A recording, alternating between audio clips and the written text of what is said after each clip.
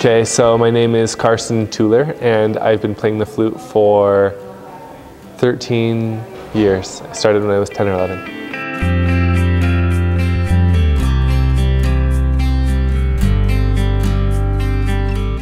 I got back from my from serving an LDS mission in Chile, and I was getting back into my playing, and I saw that there was a concerto competition, so I auditioned with the uh, yeah the Utah Wind Symphony, and I um, played the Chaminade concerto for flute and orchestra.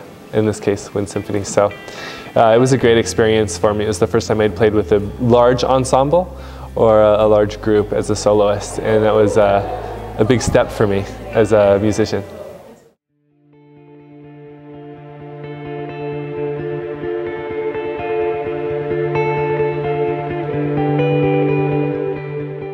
On December 30th, 2013, I was at a trampoline park with my family and uh, I was tumbling into a foam pit and I over-rotated in a double front and broke my neck uh, in the C6, C7 area and was neurologically damaged at C8. So um, that barely gave me my hand function, and which has been obviously very important for my my uh, musical endeavors.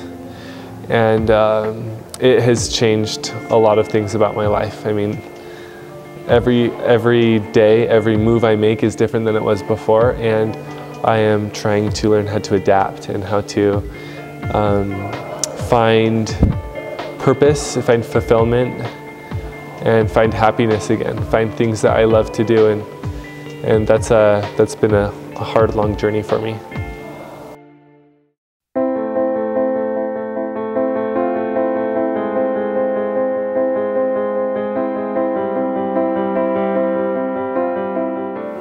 Having a spinal cord injury takes away, depending on the level, for me it took away a lot of the things I used to love to do.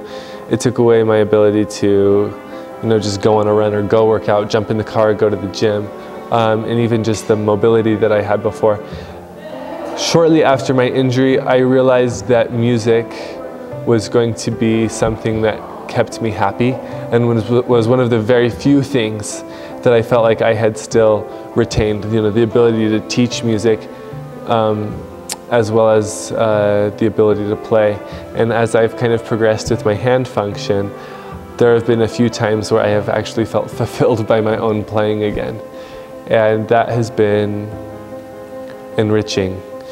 Um, I'm doing a lot of Paralympic swimming and I love it, but it doesn't feed my soul the way music does. I'll always need music in my life.